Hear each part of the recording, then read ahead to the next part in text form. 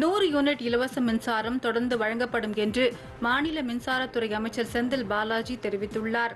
இது தொடர்பாக செய்தியாளரிடம் பேசிய அவர் டிசம்பர் முப்பத்தி ஒன்றாம் தேதி வரை மின் இணைப்பு எண்ணை ஆதாருடன் இணைப்பதற்கான சிறப்பு முகாம்கள் நடைபெறும் என்றும் பண்டிகை நாட்களை தவிர ஞாயிற்றுக்கிழமை உட்பட அனைத்து தினங்களிலும் பொதுமக்கள் இந்த முகாம்களை பயன்படுத்திக் கொள்ளலாம் என்றும் அவர் கூறியுள்ளார்.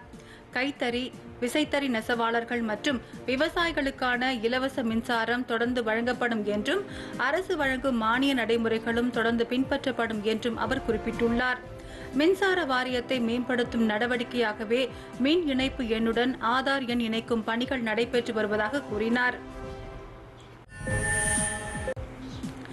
மழை காரணமாக அத்திக்கடவு அவினாசி திட்ட பணிகள் காலதாமதமாகி உள்ளதாகவும் வரும் ஜனவரி பதினைந்தாம் தேதிக்குள் முடிக்கப்பட்டு பயன்பாட்டில் கொண்டுவரப்படும் என்றும் மாநில நகர்ப்புற வளர்ச்சித்துறை அமைச்சர் முத்துசாமி தெரிவித்துள்ளார்.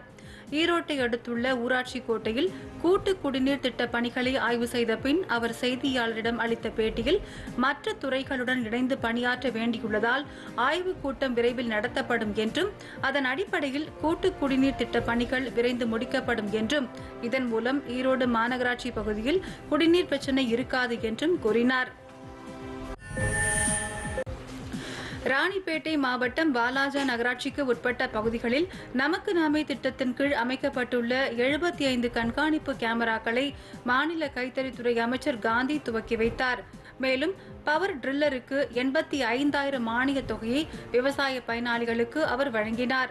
தொடர்ந்து வாலாஜா நகர பகுதிகளில் எழுபத்தி ஒரு லட்சம் ரூபாய் மதிப்பீட்டிலான திட்ட பணிகளையும் அவர் தொடங்கி வைத்தார். முருகப்பெருமானின் அறுபடை வீடுகளில் முதற் படை வீடான மதுரையை அடுத்த திருப்பரங்குன்றம் அருள்மிகு சுப்பிரமணிய சுவாமி திருக்கோவிலில் திருக்கார்த்திகை தீப திருவிழா கொடியேற்றத்துடன் இன்று தொடங்கியது. இதையொட்டி கோவிலில் உள்ள தங்கமுலாம் பூசப்பட்ட கொடி மரம் முன்பு நடைபெற்ற சிறப்பு பூஜைகளை அடுத்து கொடியேற்றப்பட்டது. இதையொட்டி பக்தர்கள் அரோகரா கோஷம் எழுப்பி சுவாமி தரிசனம் செய்தனர்.